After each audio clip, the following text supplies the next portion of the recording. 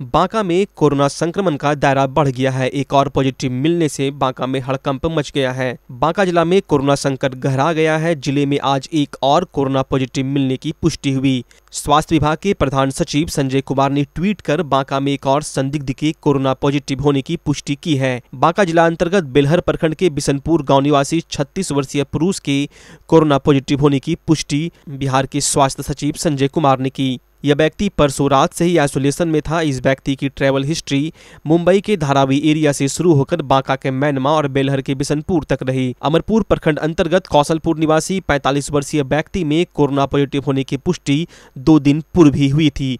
उसके बाद मुंबई से एंबुलेंस पर बांका ज़िले तक की यात्रा करने वालों में बेलहर के बिशनपुर गाँव का यह व्यक्ति भी शामिल था। कौशलपुर के ग्रामीण में कोरोना पॉजिटिव मिलने के बाद ट्रेसिंग कर इस व्यक्ति के साथ साथ अमरपुर प्रखंड अंतर्गत मैनमा गाँव निवासी एक व्यक्ति को भी परसों रात ही आइसोलेशन में भेजा गया है। आधिकारिक सूत्रों के मुताबिक परसों रात ही दोनों के सैंपल जाँच के लिए भेजे गए थे।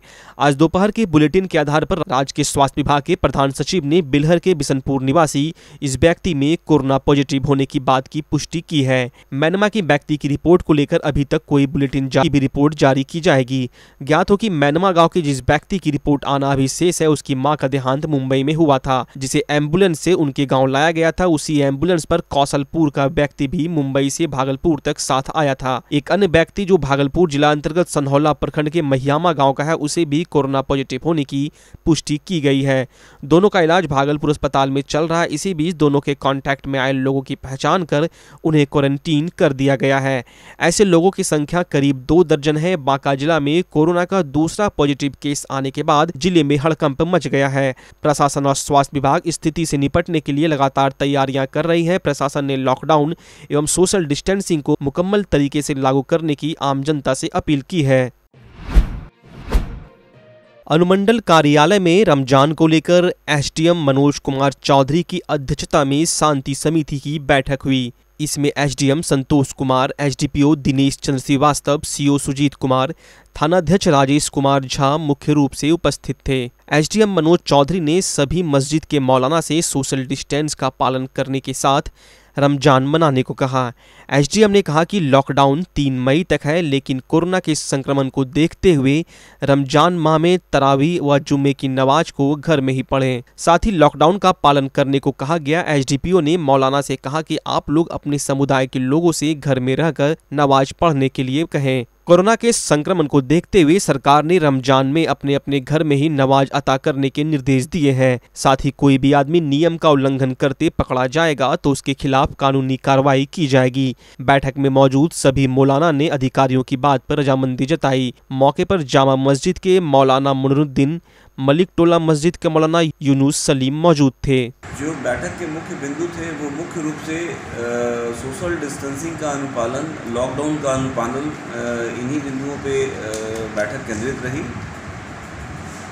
लोगों से हम लोगों ने बात की सब लोग सहमत थे कि इसका चूँकि ये समस्या जो है विश्वव्यापी समस्या है इसमें जो सरकार के निर्देश हैं उसका पूरी तरह से अनुपालन किया जाएगा। सोशल डिस्टेंसिंग का पालन किया जाएगा लॉकडाउन का अनुपालन किया जाएगा। नमाज़ करने के लिए सर ये लोग इकट्ठे होते हैं या मस्जिद में जाते हैं इसको लेकर क्या निर्देश लोगों से इस बिंदु पे भी बात हुई। लोगों ने इस बात पे रजामंदी ज़ाहिर की कि वो नमाज़ जो है घर में करेंगे। सामूहिक नमाज़ के लिए मस्जिद में ईदगाह में नहीं जाएँगे। बांका जिला में दो व्यक्तियों के कोरोना वायरस से संक्रमित होने की पुष्टि के साथ ही जहाँ जिला को अलर्ट कर दिया गया है, वहीं दूसरी ओर अभी भी हाट बाज़ार में सोशल डिस्टेंसिंग का पालन नहीं किया जा रहा है। पंजवारा बाज़ार में शुक्रवार को थाना के पास ही लगे बाज़ार में काफ़ी भीड़ देखने को मिल रही है और सामाजिक दूरी की धज्जियाँ उड़ाई जा रही है।